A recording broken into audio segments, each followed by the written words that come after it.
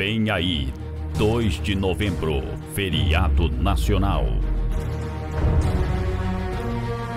Vamos comemorar o Dia da Vida.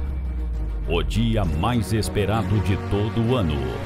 Que tem comunhão com Deus, vê o que ninguém vê, enxerga o que ninguém enxerga, ouve o que ninguém ouve. Ele pinta os pés pela fé.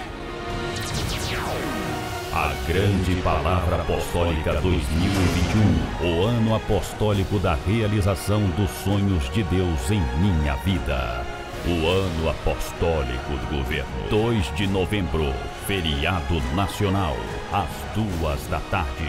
Na oportunidade, estaremos participando da Santa Ceia do Senhor Jesus. Mais informações ligue 011 2692 3860 ou pelo site www.iaptd.com.br. Na sede nacional do Brás, Avenida Celso Garcia 380.